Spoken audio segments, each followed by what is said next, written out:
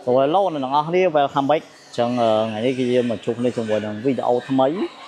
តែថ្ងៃនេះគឺយើងនឹងធ្វើការទម្លាក់កាងដំឡើងជាមួយនឹងគេហៅថាស្អំប្រេងឬមកយើងហៅថា oil cooler ចឹងហេតុតែបាទខ្ញុំត្រូវតម្លើង oil cooler នេះដោយសារតែឡានរបស់យើងគឺវាគឺជាឡាន performance មួយដែរដែលយើងបានធ្វើការលេង custom វាដូចជា BC ដូចជា oil cat can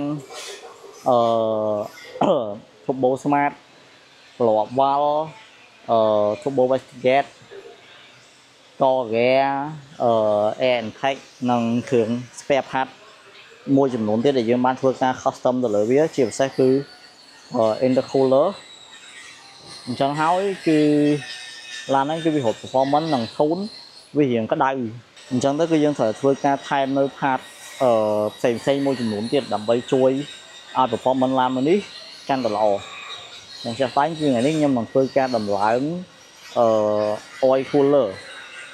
ដែលយើងហៅថាកិច្ចច្រែងសម្រាប់ធ្វើការស្អំទៅលើប្រេងបាទចឹងចាស់ដៃយើងមានផលវិបាកនៅក្នុងការដំឡើងតិចចឹងទីមួយគឺយើងបានធ្វើការតម្លាក់កាងយើងចេញមកក្រៅសិនអឺកន្លែងនេះយើងត្រូវទៅតម្លើងទៅលើស្អំប្រេងនេះ ហើយបាទខ្ញុំថាប្របាកដោយសារតែយើងបានធ្វើការតម្លើងជាមួយនឹង intercooler ហ្នឹងហើយអញ្ចឹងកន្លែងស្អំប្រេងហ្នឹងគឺគេតម្រូវឲ្យយើងដាក់នៅកន្លែងនេះដែលគេធ្វើមកប៉ុន្តែខ្ញុំតម្លើង intercooler ធំហ្នឹង rack intercooler របស់ CBF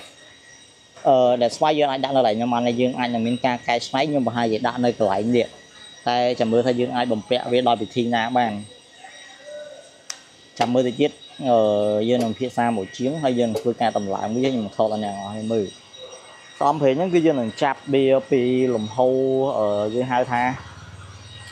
filter oil filter កន្លែង filter របស់ព្រេងហ្នឹងដើម្បីបង្ហូរវាមកឲ្យវាចូលកន្លែងស្អំដើម្បីជួយព្រេងហ្នឹងវាត្រជាក់ហើយវាបាញ់ចូលទៅម៉ាស៊ីនវិញអញ្ចឹងវាធ្វើឲ្យកម្ដៅនៃព្រេងរបស់យើងវាកាន់តែ ត្រជាក់ជាងមុនវាអត់សូវក្តៅអញ្ចឹងវាធ្វើ performance របស់ឡានរបស់យើងកាន់តែមានសន្ទុះជាងមុននិងវាអាចនិយាយថាជួយឲ្យ performance មានស្ត្រេតថេរភាពណាអ្នកនរដែលប្រភេទពួក oil cooler នេះភាគច្រើនគឺមានបំពាក់មកជាសាច់ជាមួយពួកឡាន performance ប្រភេទពួក GTR ប្រភេទពួកអឺ Lamborghini ប្រភេទពួកឡានជំនិតនេះច្រើនតែសម្រាប់ឡានដែលប្រភេទ sport ប្រភេទអីប្រហែលអត់មានដូចជាឡាននេះក៏អត់មានដែរតោះតែយើង customize តែខ្លួនឯងបើសិនជាយើងចង់លេងបែបលក្ខណៈ performance អញ្ចឹងដូចខ្ញុំអញ្ចឹងខ្ញុំលេងវាបែបលក្ខណៈ performance ខ្ញុំត្រូវ customize តែខ្លួនឯងខ្ញុំត្រូវតែទិញគ្រឿង add-on មកតែខ្លួនឯងបន្ថែមអីចឹងទៅតាមចិត្តដែលខ្ញុំចង់បានអីចឹងណាអ្នកនរគ្នាសូចាំតិចទៀតពេលដែលយើងចាប់បានធ្វើការតម្លើងជាមួយនឹង oil cooler ខ្ញុំនឹងថតឲ្យអ្នកមើលបន្ថែមទៀត Let's go សូនអ្នកនរគ្នាថ្ងៃនេះគឺជា ថ្ងៃទី2នៅក្នុងការចាប់ទៅលើ oil cooler របស់យើងតាមពិតយើងត្រូវចាប់ហើយតាំងពីម្សិលមិញប៉ុន្តែដោយសារតែយើងមានផលវិបាកពីព្រោះអ្នកដែលគាត់លក់ oil cooler ឲ្យយើងហ្នឹងគាត់ដាក់មកច្រឡំគាត់ដាក់កន្លែងដែលចាប់ adapter របស់វាហ្នឹងគឺនៅកន្លែងតម្រងនេះគឺគាត់ដាក់ Mustang ម៉ាស៊ីន8មក so យើងអត់ចង់ឲ្យគាត់ផ្ញើមកម្ដងទៀតទេវានឹងមានផលវិបាកហើយវានឹងចំណាយពេលយូរអញ្ចឹងយើងបានសម្រេចយកអាហ្នឹងទៅឲ្យជាងកលឹងធ្វើថ្មីជូនយើងម្ដងឥឡូវយើងកំពុងតែរៀបយកអាហ្នឹងមកធ្វើការចាប់ចូលតែគ្រាន់តែថាវាដូចរបស់ស៊ីនវាពិបាកនៅក្នុងការចាប់តិចតែយ៉ាងណាយើងនៅតែព្យាយាមធ្វើមិនចាប់ឲ្យវាចូលបានអញ្ចឹងនេះគឺជា adapter របស់វាយើងទៅមិនយើងកលឹងនេះថ្មីមកគ្រាប់ដើម្បីចាប់ចូលចាប់ចូលឲ្យបាននេះគឺបានហើយហើយបានយើងចាប់បំពាក់អា oil holder នេះនៅខាងមុខនេះទៅគឺរួចរាល់ហើយ គ្រាន់ថាពេលយើងប្រើអាហ្នឹងទៅយើងត្រូវការថែមប្រេងអឺតិចទៀតប្រេងយើងប្រើកាន់អស់ច្រើនជាងមុនតែវាធ្វើតិចកំងថង temperature របស់ប្រេងមកយើងគឺវាល្អជាងមុន perform វាបាន long term ជាងមុនអញ្ចឹងណា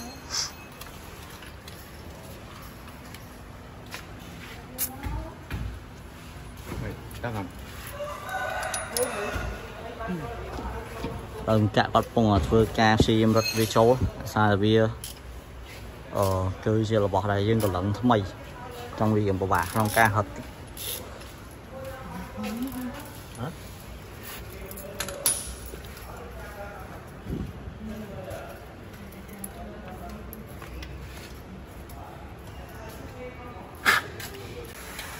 ឥឡូវអ្នកនរអស់គ្នាគឺយើងចាប់ចូលហើយហ្វាញ់លីគឺការងាររបស់យើងគឺបានសម្រេចដោយ smoking ណាកតា គាត់ជំនាញខាងធ្វើកបោនទេតែគាត់អាចកែច្នៃគ្រឿងត្រូវផ្សេងផ្សេងបានដែរបាទនិយាយកន្លែងណាគឺគាត់កាត់កាត់ទៅទៅចោលកាត់គឺអាចកែច្នៃដាក់ចូលតបានមកគាត់ថាគាត់មិនសុខចិត្តទេគាត់ធ្វើតចេញឥឡូវចេញដាក់ចូលទាំងអស់នេះព្រោះអាជើងដែលគេឲ្យមកនេះគឺជាជើង Master ម៉ាស៊ីន8ទេឡាននេះម៉ាស៊ីន4ទេឥឡូវអែមឲ្យចូលហើយ យីជើងតែយើងដាក់បានហើយបាទអានេះចាំក្រោយក៏បានអូនឥឡូវយើងចាប់អឺចូលហើយយើងកំពុងតែរកទិញតម្រងប្រេងថ្មីមកដាក់ហើយយើងចាក់ប្រេងចូលបន្ថែមអ្នកនរគ្នាចូលនេះគឺជា oil cooler ថ្មីរបស់យើងយើងដាក់ចំវាចំកណ្ដាលដែរហើយតែបើយើងប្រើ oil cooler នេះ oil cooler នេះគឺវាជួយស្អំប្រេងរបស់យើងឲ្យវាត្រជាក់ជាងមុន វាជួយ perform របស់យើងគឺឡានរបស់យើងរៀងរៀងបានយូរវាថាសម្រាប់ឡាន perform ឡានធូនអ្នកបានដឹងហ្នឹងសម្រាប់ឡានធូនឡាន perform នៅពេលណាដែលយើងប្រឹងជន់វាខ្លាំងព្រេងវាអាចនឹងឡើងកម្ដៅអញ្ចឹងវាធ្វើឡានរបស់យើងវាអាចនឹងឡើងកម្ដៅវាអាចនឹងលោតឆែកលោតអីចឹងទៅអញ្ចឹងនៅពេលដែលយើងមាន oil cooler នេះសម្រាប់ឡានយើងធូនពេលដែលយើងជន់វាខ្លាំងវាជួយកាត់បន្ថយទៅលើកម្ដៅប្រេងរបស់យើងអញ្ចឹងវាធ្វើឲ្យ perform ឡានរបស់យើងគឺវា អាចថា long life វាបានល្អអ្នកដែលឃើញពពួកឡាន performance គឺតែងតែមានអា oil cooler ហ្នឹងគឺត្រូវតែមានមកជាមួយហ្មងអញ្ចឹងប្រភេទពួកឡាន cool ប្រភេទពួកឡាន custom របស់ដែលយើងត្រូវលេងគឺមួយហ្នឹងហើយសម្រាប់ការពារទៅលើម៉ាស៊ីនរបស់យើងឲ្យវាបាន long flight យូរអង្វែងបាទ ជាពិសេសគឺ oil ខាច់ខែនមួយទៀតឥឡូវពងឲ្យជាងគាត់ចាប់កាងចូលសិនអញ្ចឹងអឺពេលហើយយើងចាក់ប្រេងចាក់អីចូលយើងបច្ឆេះវាយើងមើលវាតាមផ្ទះដៃមានលិចប្រេងមានអីទៀតអត់យើងនឹងមិនមិនវាតាមផ្ទះដៃហើយបច្ចេកមួយនេះគឺអឺយើងអរគុណជាងគេបាទគឺកាក់គាត់អឺអ្នកជួយខ្ញុំដោយសារតែយើង